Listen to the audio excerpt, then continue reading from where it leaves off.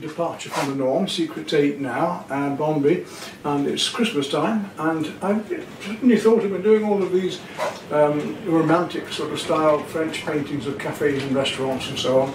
Um, but rather than, uh, as I'm not in France now, rather than do the secret series about relationships and reactions between people, um, in France, I'm going to do them here now, and I think centre around village life a little bit, and do a few more um, about life in England and in these rural areas.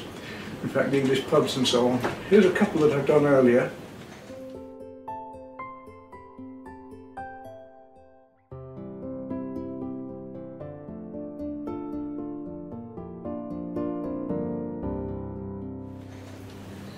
And they're about English life here, as you can see. Um, this will be a little departure for me, although it will be a fairly figurative piece in many ways because it's so much smaller and needs more detail. You gather around me today, we've got the gale winds of 50, 60 miles an hour, so uh, first of all I'm going to work from medium tones down to darks and then, my usual, from those to medium tones up to the lights, the highlights at the end. You need to get rid of all the white canvas as quickly as possible. Um, and I'll probably use a flat, flat brushes at the moment.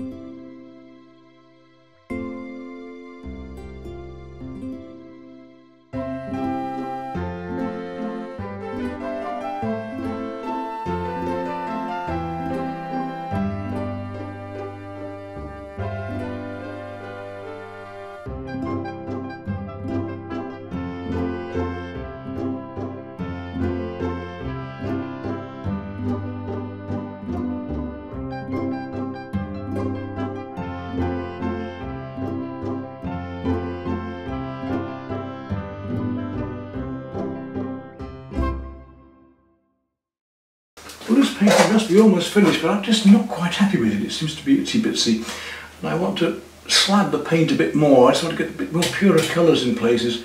Seems a bit messy somehow. I don't know why. Anyway, let's see what I can do.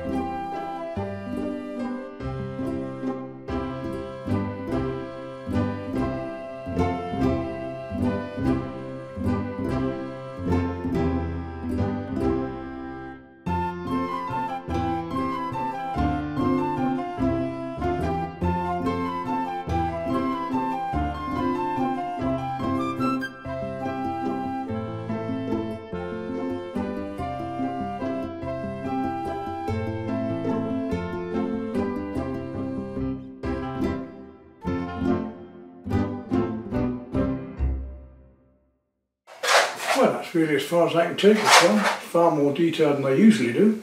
As you can see, a Christmas picture. It's now Boxing Day, and I think I've just completed it as far as I can go. More detail than I normally do by far.